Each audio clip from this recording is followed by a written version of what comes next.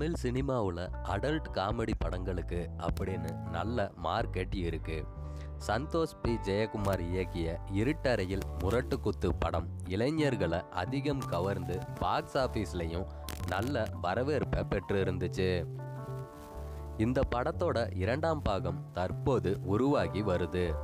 முதல் பாகத்தில் நடித்த கௌதம் கார்த்திக் யாசிகா ஆனந்த் சந்திரிகா ரவி உள்ளிட்ட யாருமே ரெண்டாம் பாகத்தில் நடிக்க போகிறது இல்லை. புதுசாக நடிகர்கள் ஒப்பந்தம் செய்யப்பட்டு இருக்காங்க. இருட்டறையில் முரட்டு குத்து படத்தை இயக்கிய சந்தோஷ் பி. ஜெயக்குமார் தான் ரெண்டாம் பாகத்தில் ஹீரோவாகவும் நடிக்கிறாரு.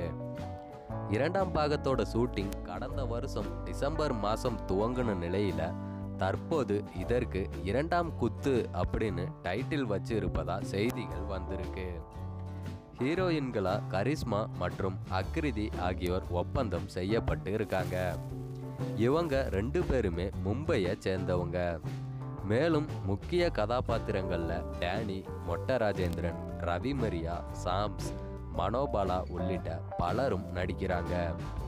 இரண்டாம் குத்து படத்தோட முதற்கட்ட ஷூட்டிங் சென்னையில் நடத்திட்டு ரெண்டாம் கட்ட படப்பிடிப்புக்காக பேங்காக் செல்ல படக்குழு திட்டமிட்டு இருப்பதா சந்தோஷ் பி. ஜெயக்குமார் தெரிவிச்சிருந்தாரு.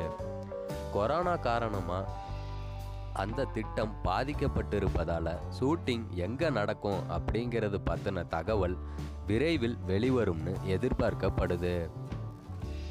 இருட்டறையில் முரட்டு குத்து படம் நல்ல வரவேற்பை பெற்றாலும் அதன் இரண்டாம் பாகத்தில் நடிக்க பல ஹீரோக்கள் தயக்கம் காட்டியதா சந்தோஷ் பி. ஜெயக்குமார் தெரிவிச்சிருந்தாரு.